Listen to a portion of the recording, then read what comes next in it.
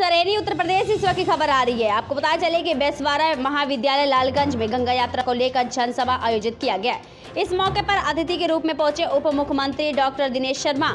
गंगा की अविरलता के साथ ही यहाँ पर लोगों के सोच बदल रही है। माँ गंगा के पवित्र निर्माता के साथ ही लाभ यहाँ पर पृथ्वी वासियों को मिला, जहाँ पर जीवन दयनीय गंगा हमारा संरक्षण किया गया है। कई सालों से गंगा इतनी गंदी हो चुकी है कि सफ़ाई नहीं हुई है। प्रधानमंत्री ने यह निश्चय किया है कि गंगा की सफ़ाई का महा अभियान चलाया जाए। योगी उत्तर प्रदेश के आपको बता चले कि तेरह किलोमीटर दूरी गंगा यात्रा का निर्णय किया है। स्थायी जनपदों से लेकर 21 नगर पंचायतों और 1308 ग्राम पंचायतों के बाद भी यह यात्रा आई है। योगी के यहाँ निश्चय किया है कि यहाँ पर अर्थ में जोड़े जाएँगे और गंगा यात्रा के साथ ही उन विषय को लेकर चलेंगे पुराने संस्कृत, आत्म विधवा के साथ। यहाँ पर द्रोहण श्री जिन द्वारा शामिल होगा।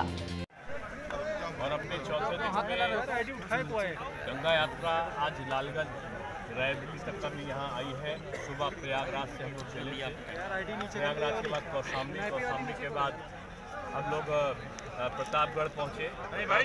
प्रतापगढ़ के बाद हम लोग लगातार चलते हुए के रास्ते आज रायबरेली आए हैं अभी उन्नाव तक हमें जाना है।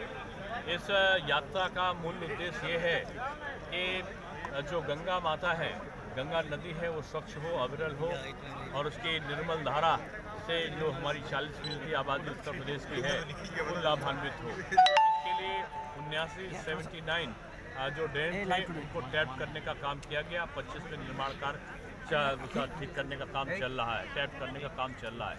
इसके साथ साथ इस यात्रा में जो ये तेरह किलोमीटर की यात्रा है, सत्ताईस जनपद इससे कवर हुए हैं उनको छूते हुए आई है और इक्कीस नगर पंचायत और 1308 ग्राम पंचायतों में ये यात्रा जाने वाली है।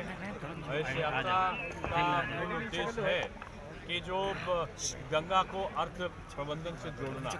इसीलिए गंगा नर्सरी आरोग्य मेलाओं का पशु मेलाओं का आयोजन गंगा मैदान का निर्माण इको टूरिज़्म का होना ये तमाम चीज़ें ऐसी हैं जिनको सीधे सीधे अर्थ प्रबंधन से जोड़ा गया है। तो आज इसी कार्यक्रम के तहत हम सब लोग आए हैं।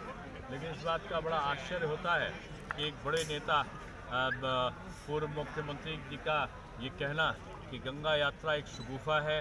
गंगा यात्रा एक इवेंट की तरह है। लोगों के लिए ये इवेंट हो सकता है। हमारे लिए श्रद्धा का प्रश्न है। हमारे लिए जनता के साथ इसको जोड़ने का उपक्रम है। और हम आर्थिक रूप में रोज़गार सृजन से लेकर उत्पादन तक का गंगा को की निर्मल धारा का जो लाभ है वो जनता तक पहुँच सके उसको पहुँचाने के लिए कृत संकल्प है। आज ये लाखों की जो जनता उमड़ रही है जगह जगह पर, उसको देखते हुए विपक्ष में इस बात की हम समझते हैं, समझ सकते हैं कि निराशा होगी कि भीड़ इतनी आ रही है गंगा यात्रा में। लोग विध्वंसक कार्य करते हैं, प्रदर्शनों के माध्यम से आग लगाने का गाड़ियों को फूकने का काम करते हैं। हम लोग गंगा यात्रा के माध्यम से जनता को जोड़ने का और एक सामाजिक और एक सांस्कृतिक कार्यक्रमों को करने का निश्चय करते हैं।